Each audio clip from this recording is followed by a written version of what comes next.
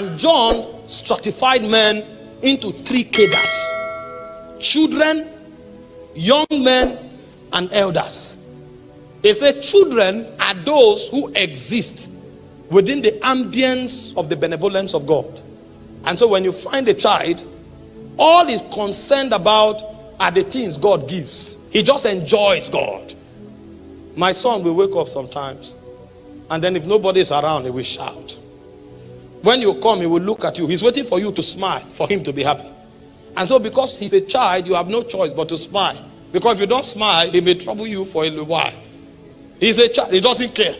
Even when he's wrong, he will cry. He will ease on himself and cry. You will quickly come and say, Sorry, sorry, and clean him up. If he's 12 years old and he does that, we will welcome him with there's something they call koboko in Africa. Koboko. It has many mouths. So that when you weep, you will weep once, but the stroke will be three. I don't know about UK because in the angelic ranking in all of creation, only man could reveal the dimensions of God. And Lucifer had perceived these things, so he wanted to enter into it.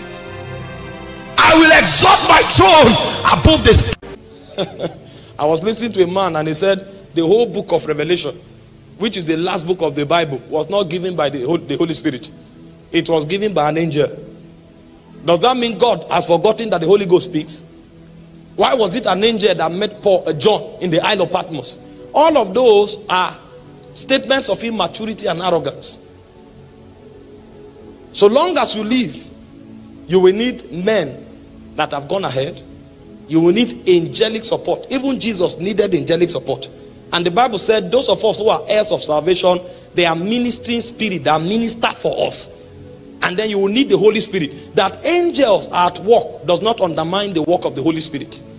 And that men are at work does not mean the work of the Holy Spirit is undermined. The realm of God is the realm of order. When you find a man bringing a dimension to you, is because the Holy Spirit allocated that dimension to that man. Because it's a system, it's a structured government where thrones define purposes and essence and so there are certain thrones in men ascend that makes them become custodians of different dimensions of God. And they communicate. The man ascends a throne and a dimension is wielded to him and he brings the body of Christ into that dimension. We call such men patriarchs. So men are not called patriarchs because they are old. Men are called patriarchs because they handle dimensions and they constore those dimensions to the body of Christ to the advantage of generations after. That's why the Bible said in Romans 15, verse 4, it said, The things that were written aforetime, it said they were written for our learning, so that we through patience and comfort of the scripture might have hope. If you study the book of Hebrews, chapter 11, you will find elders that caught dimensions in God and communicated those dimensions. In Hebrews 11 from verse 1, the Bible said, Now faith is the substance of things hoped for, the evidence of things not seen. It went further to say, to say, For by it, not the children, the elders obtained a good report. And I told you there's a difference between a child and an elder. If you study First John chapter 2 from verse 12 to verse 14, you will see John by the instrumentality of the spirit of wisdom. You know, John was a prophetic apostle. And so he had access to scrolls in Zion. Such men can give you spiritual stratification. And John stratified men into three cadres children, young men, and elders. They say children are those who exist within the ambience of the benevolence of God. And so when you find a child, all he's concerned about are the things God gives. He just enjoys God. My son will wake up sometimes, and then if nobody is around, he will shout. When you come, he will look at you. He's waiting for you to smile for him to be happy. And so, because he's a child, you have no choice but to smile. Because if you don't smile, he may trouble you for a while. He's a child, he doesn't care. Even when he's wrong, he will cry. he will ease on himself and cry. You will quickly come and say, Sorry, sorry, and clean him up. If he's 12 years old and he does that, we will welcome him with there's something they call koboko in Africa. Koboko. It has many mouths. So that when you weep, you will weep once, but the stroke will be three. I don't know about UK because there they don't flog children, but here we don't spare the rod. because he said, foolishness is bound in the heart of a child. He said, but the rod of correction. because they have removed the rod of correction from the Western world, foolishness is on the rampage. They don't know the ancient wisdom of scriptures. They say, no, don't flog your children. Ah, children. But when John was talking to us, he made us understand that the first strata you get to in the kingdom is the realm of children. You enjoy the love of the Father. That's why he said, Your sins are forgiven you for his name's sake. You are not even reasonable enough to say sorry. God still forgives you. You are a child. For his name's sake, all you need is provided. And then you can stay there all your life and think Christianity begins and ends there. So when you give your testimony, it's always about mundane things. But when elders are talking, you will not be included. Because elders have gone beyond the benevolence of God. In fact, when he went to the realm of young men, he said, I write to you, young men, because you are strong. He said, because the word of the Lord abides in you and you have overcome the evil one. So, young men are warriors. They fight to defend the kingdom. The jealousy of God is their mantle. If they come to a place and there is iniquity, they will not rest.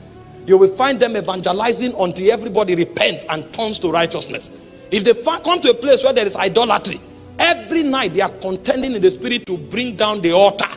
And when you find out the testimony of a young man, it's not a car.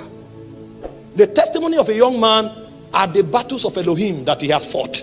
He can tell you the souls he has won. He can tell you the sick that by the Spirit he has healed. He can tell you the shrines that he has burned down. Because he is no longer with God for what God gives. He is with God because of what he can do to contribute to the kingdom. Because he has grown to the realm of responsibility. He's a reasonable man. He knows that the kingdom cannot advance except as he makes his own input. When you are operating there, you are a young man. But when you graduate a bit further, you become a father. The goal of a father is no longer the exploits of kingdom. When you meet a father, he becomes a custodian. And so when you meet a father, sometimes he's just carrying the fear of the Lord. That's all he's interested in the fear of the Lord. His life becomes so temperate because he's not concerned about what he can do for God, he becomes concerned about who he is in God. He has grown from impact. He has come to the realm of state. How he can please God. When you meet a father, his goal is the extent to which he can preserve the presence of God. And so a father, you may offend him, he will keep quiet. Not because it's not right, but because he is interested in the body of Christ. And so he will take the blame and just bear the burden because there are certain things, if he says, the presence of God will diffuse. So he would rather keep the presence of God than talk. And so when you see them, you think they are no longer agile. You who is a young man, you can come to a crusade ground and you start, you are looking for a cripple because you want to raise witches. you are looking for things to alter. When you come to the realm of fatherhood, you become more interested in the emotions of God. What does God feel? How does God think? You begin to strive to become like God. That's why when he wrote to the fathers, he said, I write unto you, fathers, because you have known him that is from the beginning. Now, it was from that realm that the elders got to, that they began to bring out good report.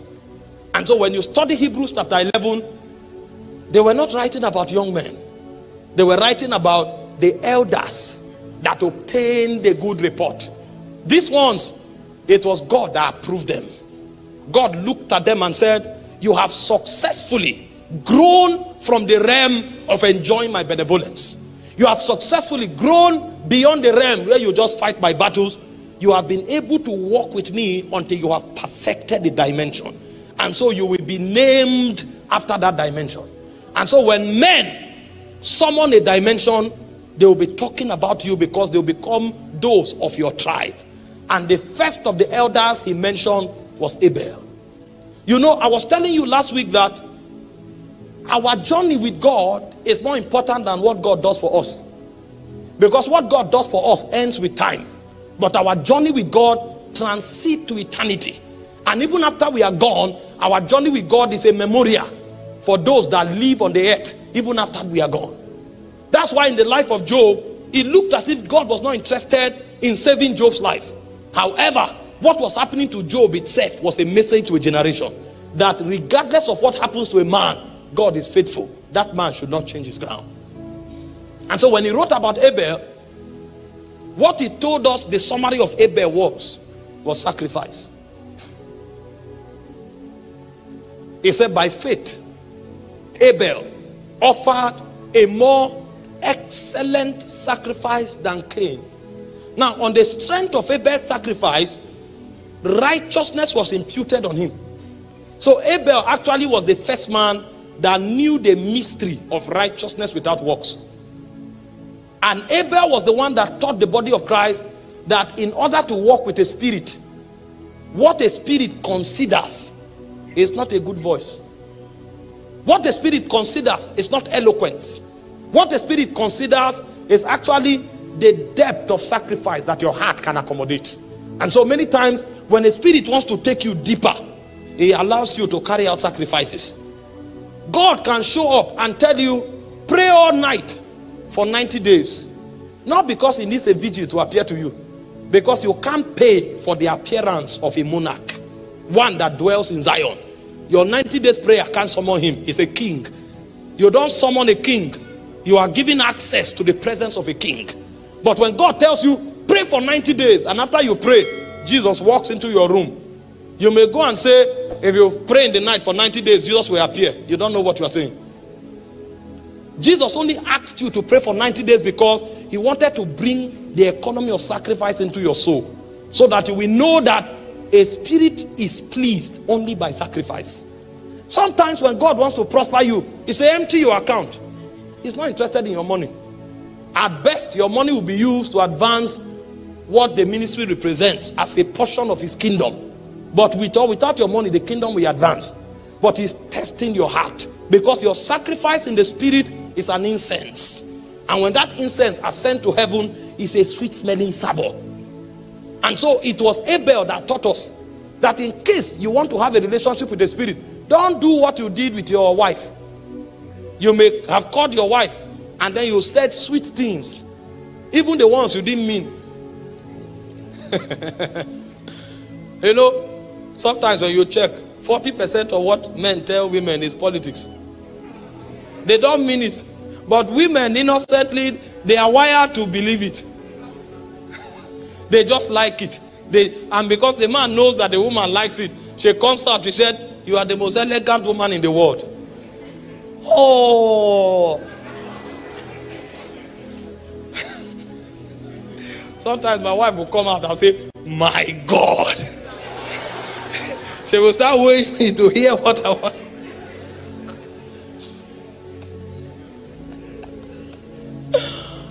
When you carry that your earthly and deceptive approach to men, to the corridors of spirit, your prayer will become an abomination.